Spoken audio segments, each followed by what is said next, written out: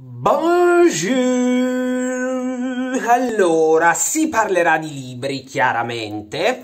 Salve a tutti e a tutte. Si parlerà di libri perché oggi è il 28 di febbraio, per cui cosa fai? Non te lo spari proprio nel vero senso, un booktuber sarà lei con le letture di febbraio, certo che te lo spari, poi febbraio è sempre un mese, no? Che sembra sempre debba passare in fretta, poi in realtà ci mette un'eternità. Prima di parlare di libri, però, una cosa io direi fondamentale, un appello agli scienziati presenti su questo canale, no? Sapete, non so, giovani specializzanti, eccetera. È, pro, è, è, è, probabile, è possibile, è scientificamente provato che una persona arrivata alla veneranda età di 31 anni possa avere una seconda pubertà? Questa è la domanda, un secondo sviluppo? Questo è quello che io vi chiedo perché la presenza di brufoli sul mio, così, mio bel faccino, come direbbe Ursula, eh, secondo me suggerisce la possibilità che questo possa accadere. Per cui, qualora vi siano dietro l'autocompenso degli studi eh, che voi magari, insomma, avete intenzione di intraprendere in questo senso, io sono vostro. Ecco. Detto ciò, io partirei subito perché i libri sono tre, è vero, e, e, sono libri tra di loro molto diversi. Mi piace molto potervi portare una sorta di varietà, così che in realtà il mio obiettivo sarebbe quello di condurlo in varietà, ma questo è un altro discorso. Portarvi una varietà di, insomma, di titoli, anche di case editrici, di situazioni, di generi, così che ognuno possa, volendo, trovare qualcosa che gli si possa eh, appiccicare addosso, ecco, lo possa soddisfare in qualche modo, non potendolo soddisfare soddisfare fisicamente io. Io direi di partire con la prima di queste eh, opere. Ehm, è raro che io parli di poesia. Um, adesso qualcuno dirà, uh, guarda mo che parte la spatafiata sulla poesia, sì, una mini spat, ma giusto per, insomma, per rendervi un po' partecipi della cosa. Mi piace molto l'idea, mi faccio un po' più indietro per dimostrare che ho ancora dei capelli, ma poi in realtà non è così. Mi piace molto mh, mm, a volte l'idea, eh, mi piaceva quando ero più piccolo, mi piacevano le cose molto criptiche, no? Quelle su cui bisognava passare del tempo, su cui bisognava ragionare, su cui bisognava rovellare ribellarsi perché i miei voli pindarici mi consentivano poi, no? Eh, insomma, sapete, quando il vetro è un po' appannato c'è anche un po' più gusto a guardare dall'altra parte, o almeno questa era la mia impressione quando ero più giovane. Con l'andare del tempo, invece, il vetro appannato, unito alla miopia, al mio astigmatismo, alla perdita della pazienza, mi ha portato a dire, ah, se qua non si vede bene, eh, signori, eh, sapete che c'è, arrivederci, me ne vado a spiata un'altra parte, cioè voglio dire, tra noi wire non c'è bisogno di queste cose se capiamo. Il punto è che la poesia per me ha sempre rappresentato quel vetro appannato. E allora a un certo punto io ho perso il gusto ehm, di andare a cercare di capire cosa ci fosse questo dietro appannato, que- dietro questo vetro appannato, ho perso il gusto di arrovellarmi, il gusto di capire, il gusto della cripticità e ho apprezzato le cose che ti vengono violentemente, no, violentemente no, ma insomma apertamente sbattute in faccia e uno deve vedere quello con cui ha a che fare.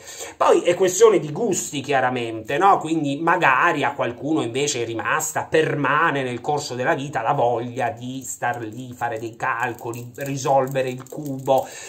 A me queste cose annoiano. E quindi anche la poesia, cosa c'è di più appannato, di più criptico, di più oscuro a volte di una poesia? E allora io non mi sono mai interessato di poesia, l'ho letta molto molto poco, quasi sempre forzatamente perché si trattava di raccolte poetiche eh, fatte magari a scuola, eccetera. Ehm, e invece adesso sono qui a portarvi un libro di poesie. Per la verità, vi leggo proprio la definizione che lo scrittore ha dato di questo libro ecco, libro, dice l'autore definiva questo libro qualcosa di meno della poesia e qualcosa di più della prosa. Ora, per non, diciamo, soffermarci su una cosa che non mi trova d'accordo, cioè la gerarchizzazione dei generi, a maggior ragione poi se parliamo di poesia e prosa che sono, non sono più generi, ma sono due macro aree enormi, um, Ambulance for Us, e, um, senza, diciamo, ah, ma 5 minuti di che cosa? Eh no, Gwendalina, però me lo devi dire. Eh, non sta a fare figure di... Ehm... 5 minuti di che cosa? 5 minuti per dirvi che invece, al di là della gerarchizzazione tra prosa, poesia e cugini di campagna, eh, io ho trovato una raccolta di poesie gustosissima. Poi voi direte anche, adesso che vi dirò il titolo, perché già sento qualcuno che dice, ah, eh, strigne, che c'ho da fare, no? Però, eh, ora che vi dirò il titolo, voi direte, eh, ma questo scopre nel 2021 una roba che è uscita nel 1915 e che in Italia poi è stata, in Italia è uscita un po' dopo, ma è stata letta, riletta. Eh, De André ci ha fatto un album bellissimo eh, su questo, su alcune di queste poesie, che poesie proprio non sono, adesso vi spiego. Qualcuno con De André ha già indovinato, eccolo qua. Antologia di Spoon River del carissimo Edgar Lee Masters, da notare stamattina una pronuncia, una scioltezza nella lingua che purtroppo, insomma, rimane fine a se stessa. Eccolo qui, antologia di Spoon Riven, in questa veste grafica nuovissima, cioè voglio dire da fare invidia, in questa edizione Einaudi, chiaramente visibile eh, dalla, mh, mm, dal, da, da, dallo stile della copertina, talmente chiaro che io comunque ho dovuto leggerlo.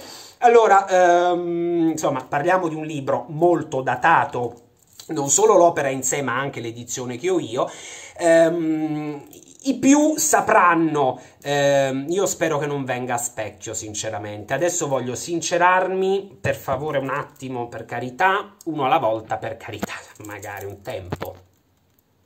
Sì, bene, non si vede a specchio. Antologia di Spoon River è una raccolta di poesie ehm, inserite però in un contesto che mi ha fatto gola fin da subito. Poi la cara Gwendalina mi ha, diciamo, omaggiato della sua copia, che non è un regalo perché sta roba deve tornare indietro, ma insomma, in sostanza, eh, non appena finito di leggerlo, ho detto, guarda, mm, insomma, me, lo ha, me, lo ha, prestato. E, mm, immaginate una collina, ok? Una collina di questo piccolo paesello assolutamente immaginario di Spoon River e su questa collina eh, giace, voglio dire, è adagiato, è mollemente adagiato un, un cimitero. E quindi eh, le varie tombe che fanno parte, di, che compongono questo cimitero, sono abitate, diciamo così, da tutti i Ehm, diciamo, i vecchi abitanti, tutti gli abitanti della cittadina di Spoon River, o meglio, tutti quelli che a un certo punto sono passati a miglior vita. Lo scrittore immagina in questo libro che ogni persona dalla propria tomba, dalla propria lapide, dal proprio manifesto funebre, parli e racconti un po' di sé. Quindi ogni poesia ha il titolo ehm, della persona che sta parlando, del defunto che in quel momento sta parlando, ehm, non lo so, per esempio, professor Newcomer, ok? E il professore parla. Parla e racconta, tutti raccontano, raccontano un po' di sé, alcuni molto di sé, altri molto degli altri, per cui è una sorta di intreccio meraviglioso, di mosaico meraviglioso, dove sono i morti a restituire la vivida immagine, paradossalmente, di una cittadina e di ciò che ha attraversato questa cittadina, cioè quali persone compongono, di chi è fatta la città, perché la città rimane sempre un'entità un po' astratte, cioè la città, la città, ma la città è fatta, è fatta di storie, è fatta di ripicche, è fatta di dispetti, è fatta di gioie, di matrimoni, di figli che ci sono, che non ci sono più, che non ci sono mai stati, che magari avremmo voluto o non avremmo voluto, poi è fatta di, di parentele, di politica, di lavoro, di professioni, di intrighi, di, di, di riuscite, di sconfitte, di guerre, la città è fatta dalla vita delle persone e attenzione, è fatta, suggerisce insomma, l'autore, è fatta anche dalla morte, è fatta da coloro che non ci sono più e che hanno però fatto,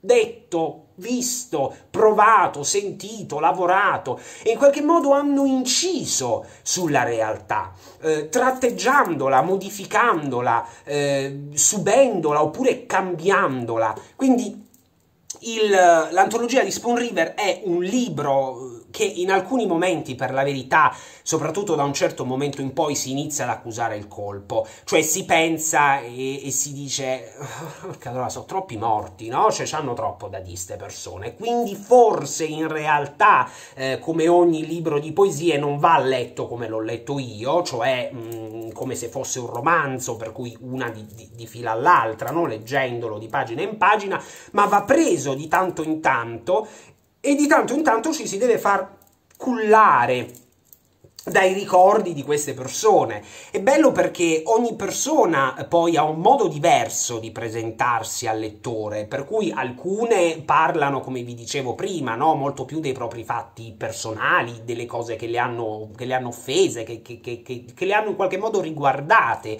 nella loro vita, altre persone invece parlano di ciò che ha riguardato altri, oppure eh, svelano degli arcani, oppure parlano di di invidie, di gelosie. Insomma, io l'ho trovato un libro complice anche um, la, diciamo, lo stile dello scrittore e la traduzione. Um, io l'ho trovato un libro anche fresco, diciamo relativamente fresco da leggere, cioè essendo poesia non vi aspettate né il vetro appannato di cui parlavo prima,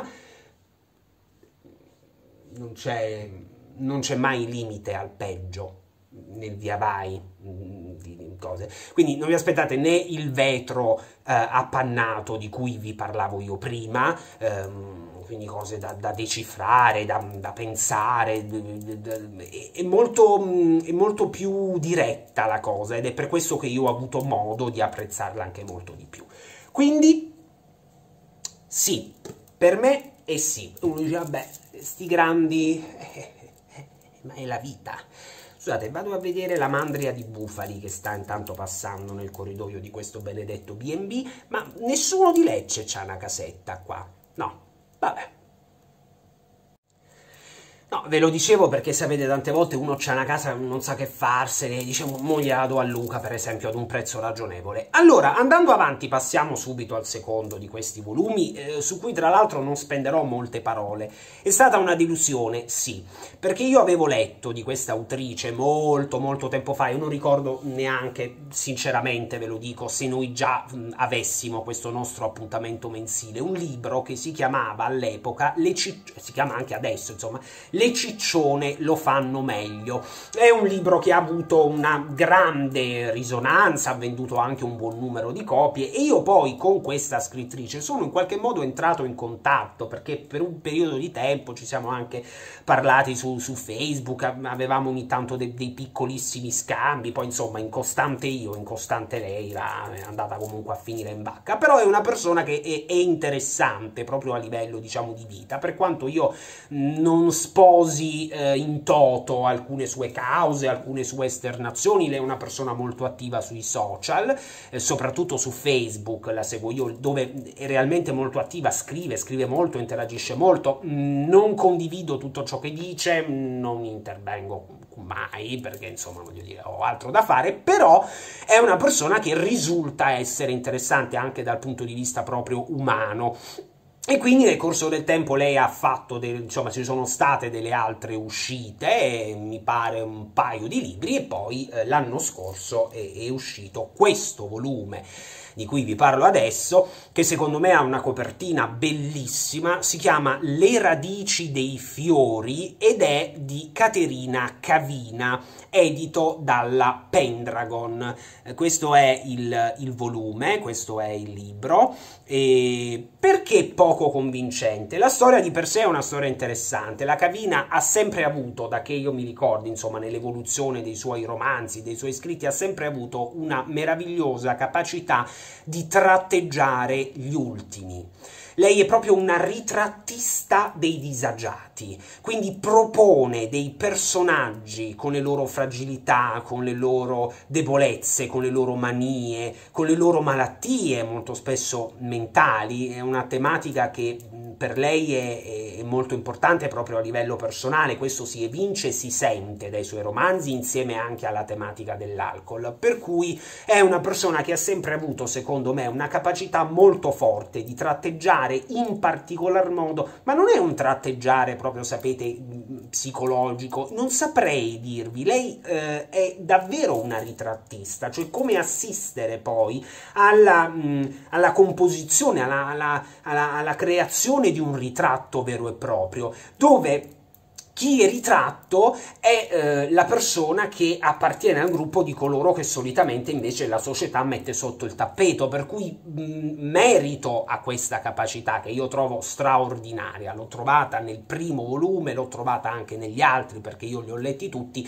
e l'ho trovata anche in questa, forse in questo, forse in questo a maggior ragione perché? Perché la protagonista di questo romanzo che è una, eh, una ragazza con delle proprie difficoltà e con un tratto caratteristico che è quello dell'albinismo eh, che a un certo punto arriva eh, per sue varie vicissitudini, peripezie eccetera, adesso non vi sto a svelare assolutamente niente, in questa casa di... Ehm, di cura, ma attenzione, non casa di cura come la intendiamo noi per anziani, è proprio una sorta di centro riabilitativo psichiatrico dove comincia una sorta, lo è, dove comincia ad interagire con le varie figure, con i vari personaggi che sono all'interno di questo posto e che a loro volta eh, portano le loro storie, il loro vissuto, le loro difficoltà, le motivazioni. Eh,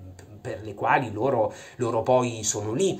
Per cui è una sorta di caleidoscopio in cui eh, ci vengono mostrati come una sorta di, passatemi il termine, laico freak show, una serie di, di orrori, di abomini, eh, che però non hanno l'effetto eh, respingente che di solito il bel pensa- ben, ben, pensante e bel pensante di turno si, si, si può immaginare, ma sono persone con le quali si entra in contatto, che hanno qualcosa da dire alla parte di noi eh, che non è proprio sanissima, non è proprio mm, equilibrata, non è proprio nel, no, nel, nel, nella migliore delle condizioni.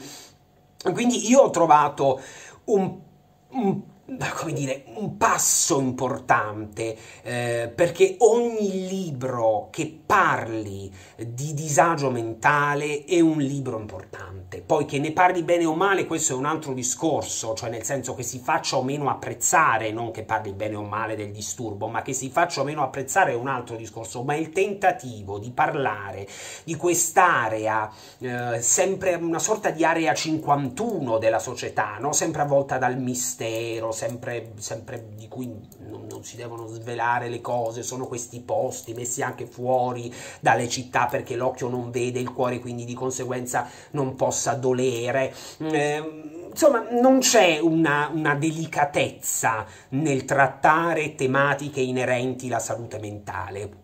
Noi ne abbiamo parlato spesso in vari altri video, quindi non sto qui ad ammorbarvi, per cui chi fa queste operazioni, chi si mette lì e parla di determinate cose, sicuramente è da appoggiare.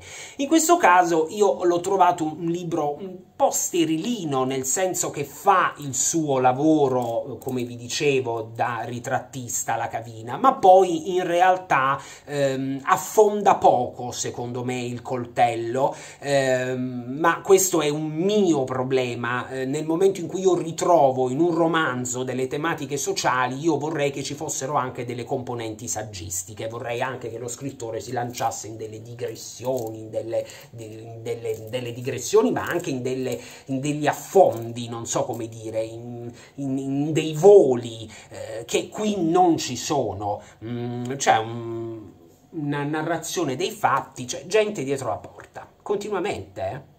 Cioè non è no, non è una non è nemmeno più una novità.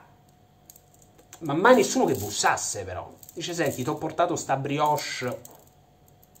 Scusate. Quindi, questo che vedete non è fumo ma vapore, mm, le radici dei fiori. Si poteva forse mm, pensare di, di, si poteva pretendere un po' di più, io credo.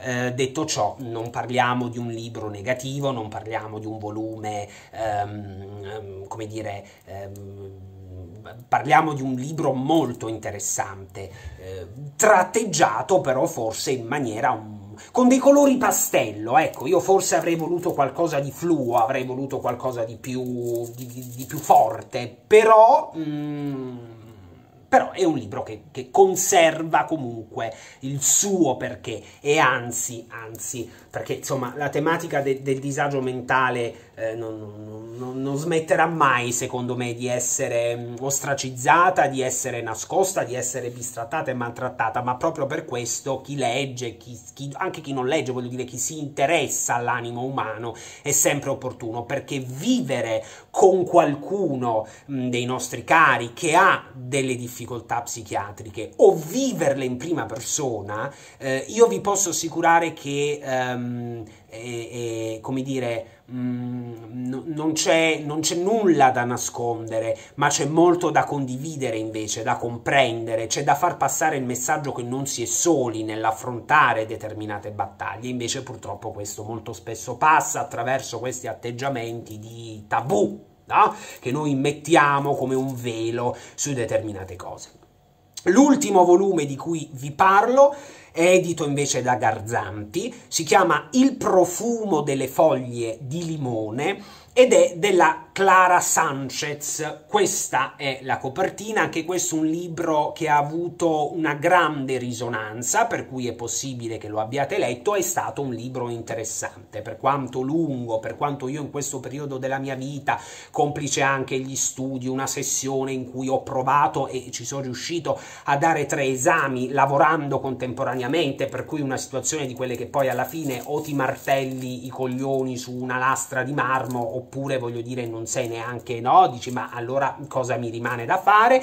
Eh, quindi non è stato facilissimo leggerlo, non per la scrittura, perché invece è una scrittura molto fluida, molto interessante, e poi c'è una trama meravigliosa. Eh, meravigliosa perché? Perché la tematica del nazismo viene mh, mm, trattata in maniera eh, molto interessante. Non si tratta di un libro ambientato negli anni della seconda guerra mondiale, quindi di conseguenza negli anni di sviluppo di fascismo, nazismo e di questi movimenti totalitari, ma è un libro ambientato, diciamo più o meno pressoché ai giorni nostri, adesso fatevi un po' i calcoli con le età, ma ai giorni nostri, ehm, ed è narrato da due voci che corrono parallelamente. La prima voce è quella di Julian, Giuliano è un anziano signore sopravvissuto al campo di concentramento di Mauthausen eh, che ha fatto poi della sua vita una crociata e una battaglia contro i nazisti superstiti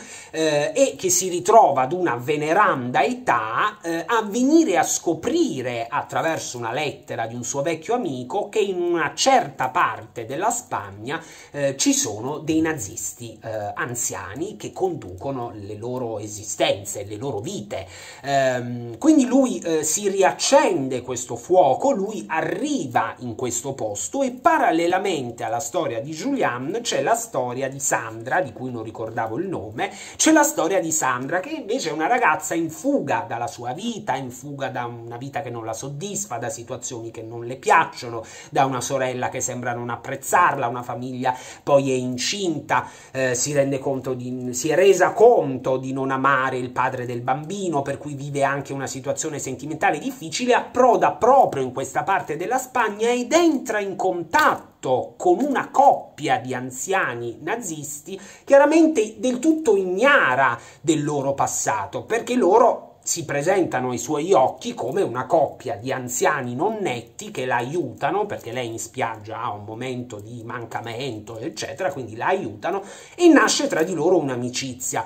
A un certo punto la vita di Sandra si incrocerà, quindi no? si incontrerà con la vita di Julian, Sandra verrà a conoscenza eh, di quello che Julian è e di quello che Julian sa su queste persone e su tutta una serie di altre persone che vi ruotano intorno e il libro, diciamo, si basa un po' su questo incrocio, su questi sviluppi. È un libro molto bello da leggere. Io mh, forse questo tra tutti e tre è quello che mi sentirei di consigliare in maniera un po' più calda. Se avete bisogno di una lettura che vi faccia pensare, ma che non sia una lettura eh, no, immersa in quegli anni, che magari può risultare un po' più pesante, un po' più respingente, soprattutto adesso che comincia a fare no, il primo caldo, eccetera, eccetera. Non ho voglia di vedere queste robe. Invece questo è meraviglioso perché perché ci pone delle domande che secondo me sono delle domande sacrosante,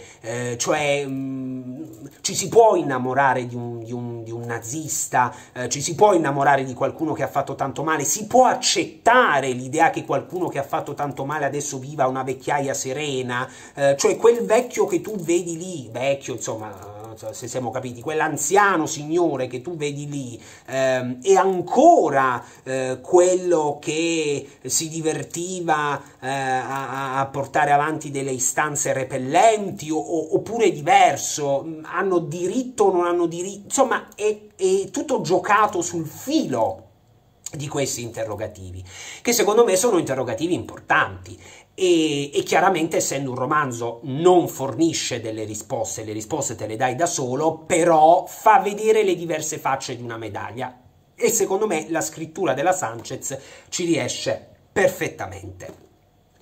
E ragazzi io vi lascio, vi lascio perché dei tre libri ve ne ho parlato. Um, non ho molto altro da aggiungere perché già il video è arrivato ad avere una lunghezza straordinaria, però, però vi dico che noi a breve ci rivedremo perché io ho da assaggiare qualcosa con voi. Eh, insomma, il buon Antonio mi ha eh, fatto un regalo e devo condividerlo con voi, per cui a breve Ciao a tutti e buon marzo, per carità teniamo duro, teniamoci forte, teniamoci stretti. Ciao!